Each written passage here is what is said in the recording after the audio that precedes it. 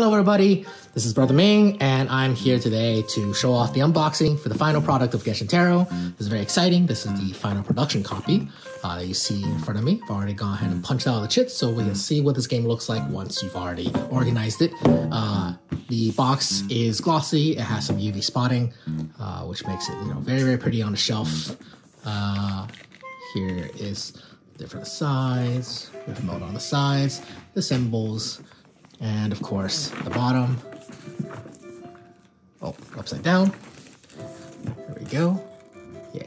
Pause the video if you'd like to read it. All right. Oh, upside down again. There we go. All right. Time to open. This is a very heavy game, uh, weighing over seven pounds. And yeah, so uh, just like Anna's Roundtable, I really like this style of box insert design with a top lid that's also functional. So we see here we have the rulebook that's fit into place. Uh, I'm very happy with this rulebook. It is a very clear rulebook and concise rulebook.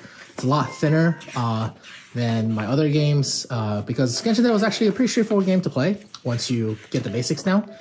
Uh, and all the credits and artists, and also all the art is actually in a separate art book. So that allows the rule book to stay in the game box. It's a very thin piece of rule book. Here we have next uh, the boss boards. So they also fit into this divot very well. We have three boss boards, uh, all very pretty with the clock on the back. That's the turn, turn counter. The front, uh, three bosses. We recommend starting with the Dvalin for your first game. So put the boss boards aside. The next thing we have is the player boards. Uh, there's four player boards here that also are a perfect fit on the top as well. So uh, these boards have little divots for your resources. So you can just move your resource tracker along them. There's also this little divot here for your Mora. So you don't spill all your Mora, your deck, your discard. So got four player, uh, player boards. Put that in there. So once you remove this top lid section, we have the insert proper.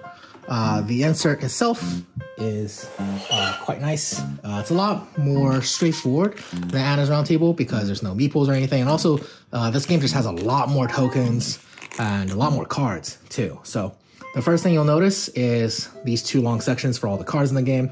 This contains all the cards from the base game and the first expansion.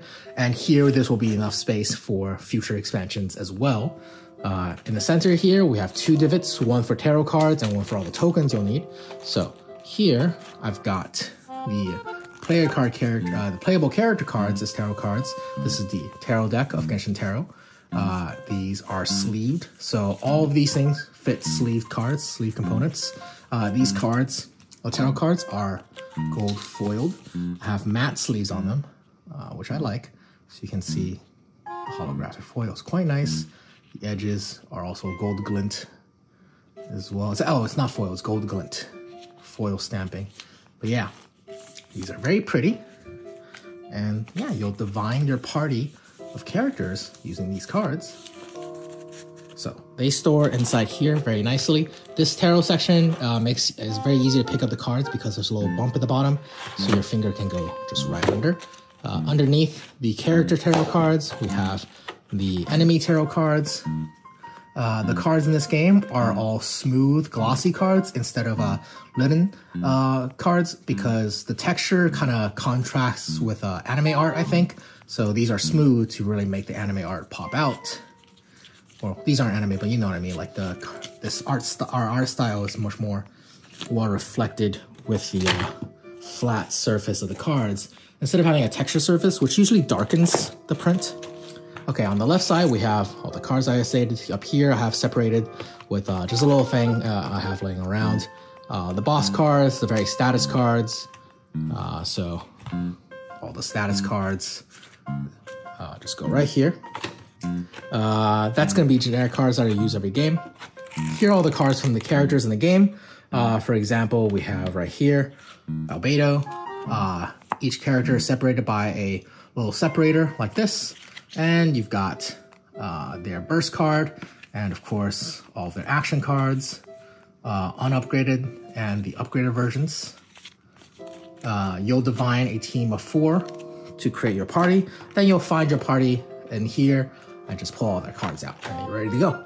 Uh, this section also fits uh, sleeve cards, uh, which is perfect for those of you who like sleeving your cards. Here I show you Tartaglia's or Childe's cards sleeved in the Childe sleeves. You can purchase these on my Etsy store. Uh, so yeah, these uh, sleeves are great if you're one of the people who likes sleeving your games. So you won't have to worry about In fact if you sleeve all these cards, it should fit this empty space perfectly. So then you can sleeve your entire game and the future expansion and everything will fit into one box.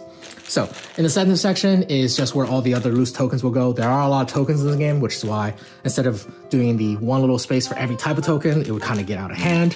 So at the top here, we have the turn tracker, which is called a planchette, uh, fancy word, uh, that you're going to use to track your turn on the boss board as you play. So this scrolls by one, turn two, turn three, turn four, etc., etc. Uh, we have these resource markers. These are quite thick, very nice to pick up, uh, and they're gonna track uh, your. Let's see. They're going to track your player resources. You just put them right here. They fit really well. Uh, you're not gonna move them around until you want to. They pick up very easily because of how thick they are. And yeah, so very easy to track when your cat jumps on the table, your resources won't go flying everywhere. Something that I hate as a cat owner. Uh, yeah, that's one nice thing. Put that in here. And the game comes with these Ziploc bags, so you don't have to worry about providing your own. Uh, there's all the different uh, bag of Mora, uh, bag of bigger Mora. These are the denominations of five and one. Uh, different tokens for every single element that you can apply in the game. Uh, so we have Anemo, Electro, uh, Hydro, Cryo, uh, and Geo, and Pyro. Uh, we also have these action point trackers, uh, damage tokens. So these are reversible between 1 and 2. And also there's these bigger tokens that reverse between 5 and 10 uh, for fighting the boss. We have shield tokens, reversible between 1 and 2. And finally, we ha have uh, some dice. These are custom uh, six-sided die. Uh, the game uses six-sided dice for various effects. The bosses use them to determine what they're going to be doing.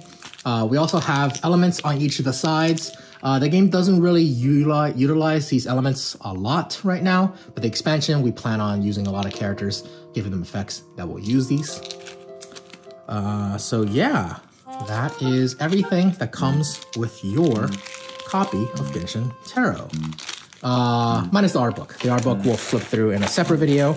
And I'm very happy to say that I'm very, very proud of how this game came out. Oh, sorry, one more component.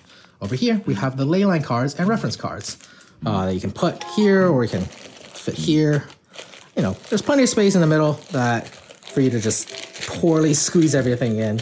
It'll feel a little better if you try to try a little harder. But that said, let's put everything back. It just fits in quite nicely.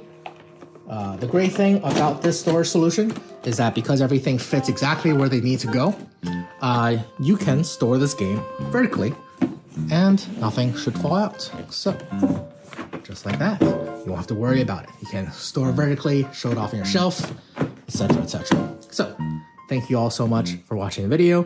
Uh, I can't wait for you guys to get your hands on this, and uh, I'll see you guys next time. Bye.